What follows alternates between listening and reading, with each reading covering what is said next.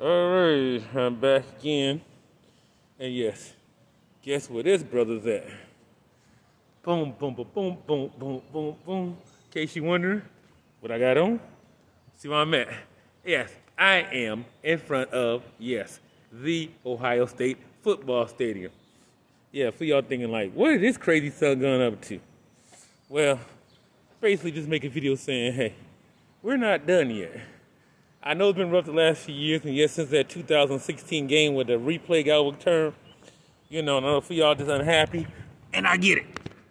I get everybody don't believe and think they couldn't pull it off, but you know, it happens.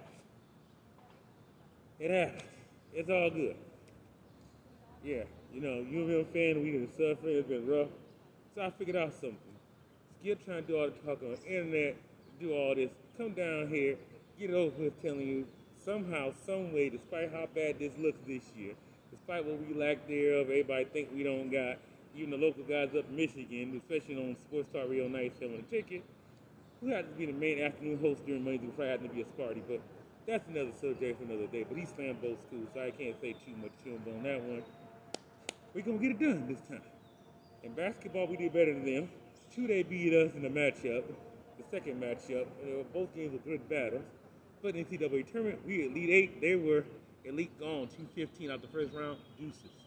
Uh, so all you people thinking all that hype, no. Not buying it, don't believe it, trust me. Just because everybody think they're so much better than us. I'm here to tell you now, it's not over yet. It don't look good at times. And yes, it look rough at times, but you know what? Somehow, some way, what Juwan Howard say? One of his famous words when he said the Fab five. Coach Hunt said for basketball, they got a good team, but we're gonna shock the world this time around. Believe me, next football season gonna be a different story. That's all I gotta say. Go blue.